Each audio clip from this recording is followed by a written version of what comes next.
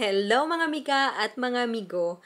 I just got home and galing pala ako sa ano um, birthday party ng isang Pinay na nandito lang din nakatira um, sa city kung saan kami nakatira.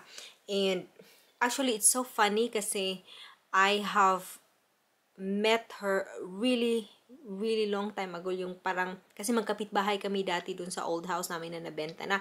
Bahay ko dito tapos bahay niya dun lang sa kabila. And then it was yeah very long time ago. Tapos recently lang kami nagka-contact-contact ulit.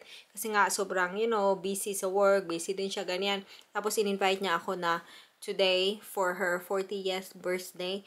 And ang saya lang ang saya lang din guys kasi ano ang dami kong na-meet ng mga Filipinos ang sarap ng pagkain tapos, ano, kasi nga, normally yung buhay ko is just working and then home working. Kasi feeling, feeling ko wala na akong, alam mo yun, yung parang energy to actually socialize, ganyan. Pero this one, nag-yes ako and I'm happy kasi nag-yes ako kasi sobrang na-enjoy ko talaga.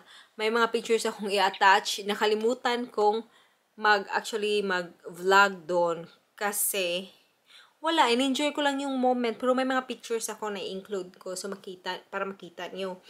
And yeah, dami palang mga, mga Pinoy dito guys. Na natatawa ako kasi parang may Tagalog, may Ilongga, may Bisaya, which is ako, Bisaya. So, yun. Tapos may mga, mga Pinay din na sobrang tagal na dito. So, nakakausap mo din sila. And then, um, nabibigyan ka din nila ng mga tips sa buhay-buhay nila, ganyan. Ay, so yun. Oh, kadarating ko lang. And, ano, medyo umuulan-ulan dito. Pero it was okay kasi nasa loob lang din naman kami ng bahay. And, yeah, ang sarap ng pagkain. Actually, ang sarap-sarap ng pagkain. May mga bibingka, ano pa bang nandun. May actually isda, bangus, ganyan. Tapos may, of course, may cake. Tapos may mga cute-cute din na mga pagkain. Alam mo yung mga appetizer. Tap, basta ang dami. Ang sarap. So, i-ano, i-attach ko mamaya konti. Continue lang kayo ng watch yung mga pictures namin doon. Yung mga Filipino dito sa Denmark. So, yun. Mag-isa lang ako because Martin is out. Um, he's with his friend. And then, bukas, actually, ang saya kasi parang 3 days straight na day off. Um, today is Saturday and tapos day off ko. And then, Sunday, Monday, ano siya, parang holiday dito sa Denmark. So, two days din, you know, ano, off from work.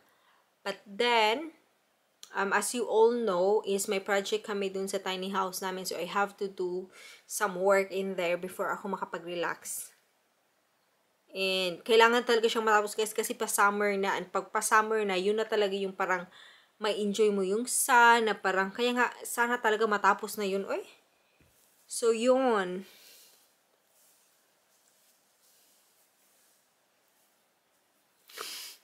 ang OA ko.